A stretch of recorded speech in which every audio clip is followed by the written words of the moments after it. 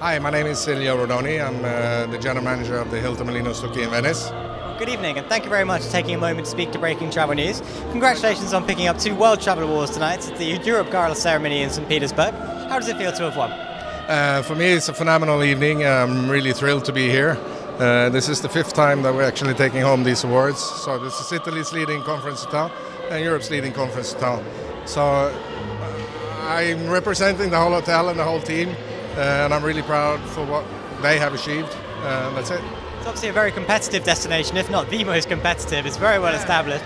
Do you think the trophies help you welcome more guests uh, to your property and get the message out? Uh, I hope so, yes, and I think so. I think uh, Venice is a unique destination. Hotel Molino Stucky is um, unique in itself, and I think it's worth visiting not only the hotel but also the city. It's phenomenal. It's brilliant. Well, congratulations and thank you for talking to us. Thank you. All right, chap. Thank you.